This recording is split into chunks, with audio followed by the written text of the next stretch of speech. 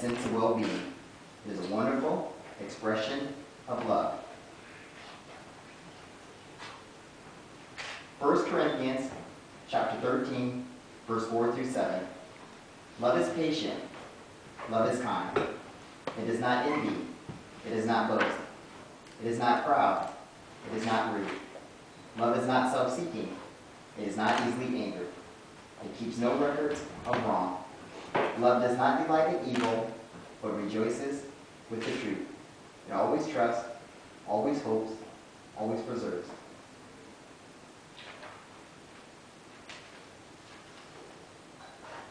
Do you, Ryan and Valeria, vow to have and to hold from this day forward, for better or worse, for richer or poorer, in sickness and in health, to love and cherish, and to death do you part? I do. I do.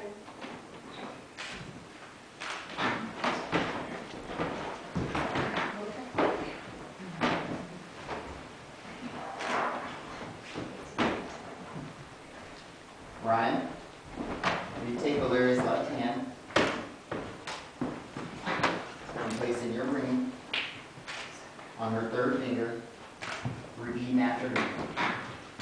I give this ring to you I give this ring to you as an eternal symbol of my love as an eternal symbol of my love and devotion to you.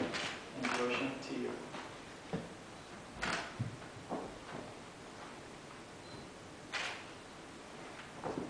Valeria, you take Ryan's left hand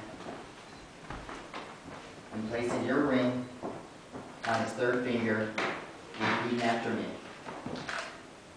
I give this ring to you I give this ring to you as an eternal symbol of my love as an eternal symbol of my love and devotion to you.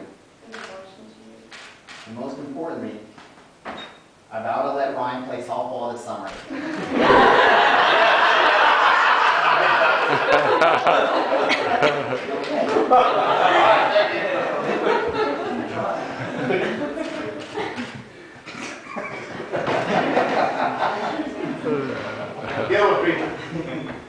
For as, as Brian and Valeria have consented together in wedlock, have witnessed before this company, have given and pledged their fidelity each to the other with the exchange of rings, under the authority invested in me by the state of Alaska, I now pronounce you husband and wife.